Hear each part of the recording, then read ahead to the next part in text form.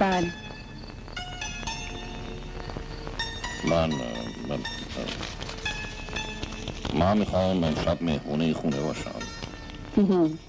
برو آقا عوضی گرفتی. خونه امت پایین تره اصلاح کن. میبنده. شرطی که تو این خونه است پسر منه. نوزده سالشه. کش و گوش بسته است.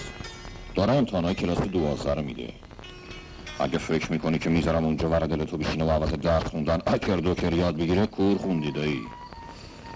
حالا اونو بفرستش بیاد بیرون. بهتره بگم یه پاسبون بیاد سراغت آقا. خوب گوشاتو واکن خانوم بهتر اون بچه از این خونه بیاد بیرون.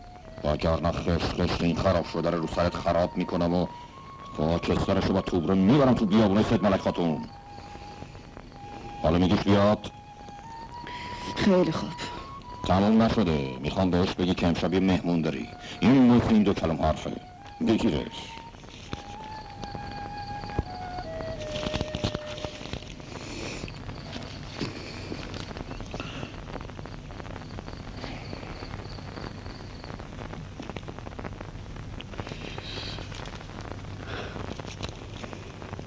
کی بود؟ کی بود در می‌زد؟ من من امشب یه مهمون دارم حشمت. بهتره تو بری خونت.